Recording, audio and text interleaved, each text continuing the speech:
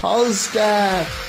नमस्कार, मैं राजमोहन तिवारी, आप देख रहे हैं चक दे क्रिकेट जब हम भारत के पूर्व हरफनमौला ऑलराउंडर युवराज सिंह की बात करते हैं तो जो सबसे पहला दृश्य हमारे सामने आता है, वह उनके द्वारा 2007 के टी विश्व कप में डरबन के मैदान पर इंग्लैंड के तेज गेंदबाज स्टुअर्ट ब्रॉड के एक ओवर में छह गेंद पर लगाए गए छह छक्के हैं जबकि उसी मैच में उनके द्वारा बनाया गया एक और विश्व रिकॉर्ड, मात्र 12 गेंदों में 50 रन, तेरह वर्ष बाद भी विश्व क्रिकेट में आज तक कोई नहीं तोड़ पाया है।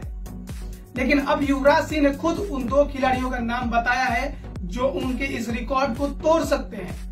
युवराज सिंह का मानना है कि केवल दो भारतीय खिलाड़ी ही ऐसे हैं, जो उनके इन दोनों रिकॉर्डों को तोड़ सकते हैं।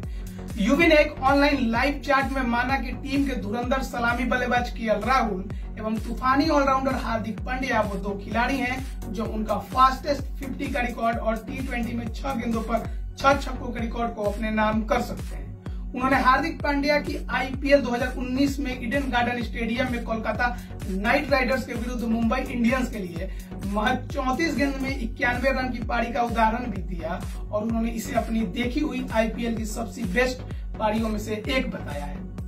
आपको बता दूँ कि युवराज ने पांड्या की जिस पारी का ज़िक्र किया है, वो 28 अप्रैल 2019 को ईडन गार्डन में हार्दिक ने खेली थी। हालाँकि उनकी इस ताबड़तोड़ 34 गेंदों में इक्यानवे रन बनाने के बावजूद मुंबई 34 रन से वह मुकाबला हार गई। यूवी ने हार्दिक को 2023 विश्व कप जिताने वाला खजाना बताया। यूवी ने बोला कि उनके हिसाब से पांड्या में एक ज़बरदस्त टैलेंट है, लेकिन किसी को उनके दिमाग पर कार्य करने की ज़रूरत है। उन्होंने कहा कि यदि कोई हार्दिक को संयम रखना सिखाने का कार्य करेगा तो वह टीम के लिए 2023 विश्व कप जिताने के लिए बहुत बड़ा खजाना साबित हो सकते हैं। युवराज ने यहाँ एक और उदाहरण दिया। यूपी ने कहा कि हार्दिक 2019 विश्व कप को भी जिता सकते थे, लेकिन संयम की कमी के कारण वो अच्छा मौका गंवा बैठे।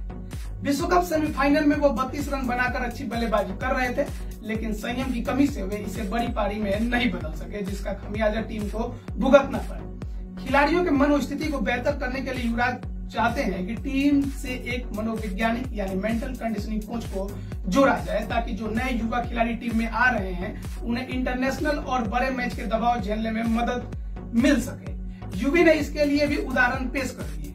उन्होंने कहा कि घरेलू क्रिकेट में यहाँ तक कि आईपीएल में बेहद ज़बरदस्त प्रदर्शन करने वाले पंत को पूरी संसार टैलेंट का भंडार मानती है, पर अभी तक उनका करियर अप डाउन से ही जूझ रहा है। उनके जैसे टैलेंटेड खिलाड़ियों के लिए एक मेंटल कोच होना अधिक ज़रूरत महसूस कराता है।